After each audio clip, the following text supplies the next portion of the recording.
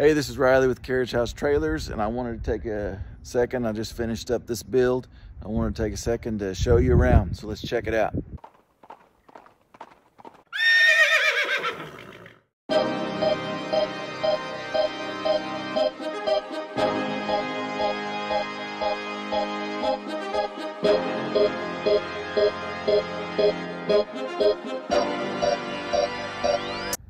This trailer started out as a uh, 1997, I believe, uh, two horse trailer. And uh, it was actually gray. We've had it sandblasted and uh, fabbed up all most of what you see here. And we have the gloss white um, paint with the, of course, the diamond tread uh, bright aluminum diamond tread and then the brushed aluminum trim and the uh, chrome uh, steel wheel covers. And the wood is a um, Wellington Brown is the name of the wood. And so let's check this thing out. Of course, you got the classic V on the front.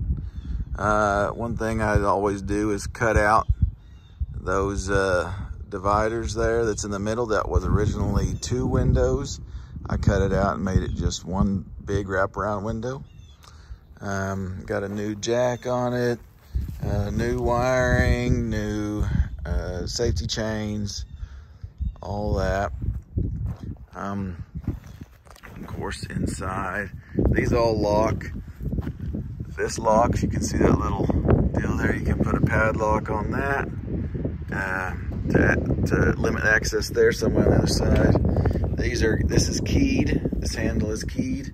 You have uh, storage in the door and everything's painted in there. Have a uh, bar top. It's one by 12 with uh, these rounded corners here.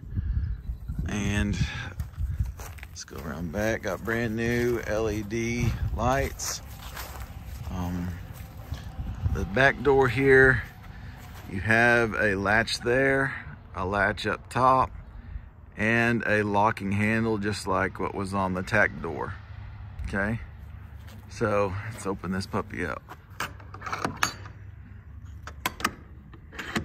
You can put padlocks in there to limit access, and of course this is keyed.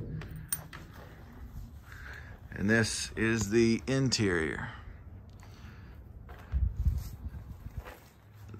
This door has a bolt latch right there to secure it from the inside.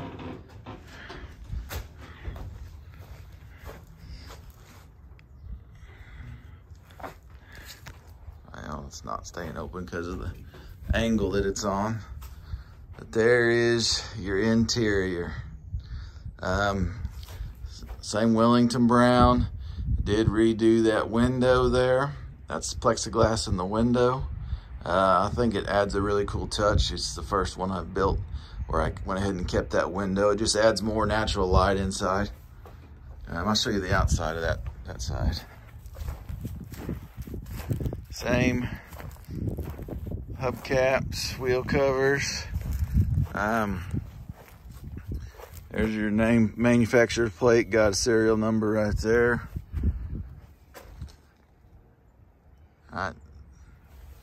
See what I mean about that window? It just adds an extra little step there. It looks really cool. Now, inside here, we have this door, which can open up horizontally. This door, which is your normal serving door, that will open up vertically. Secured by bolt latches on the inside here. All right, and then I've got gas struts on either end. So you just push it open like that and it's open. And this one has a bolt latch here. Allow you to open that up. See what it looks like on the outside.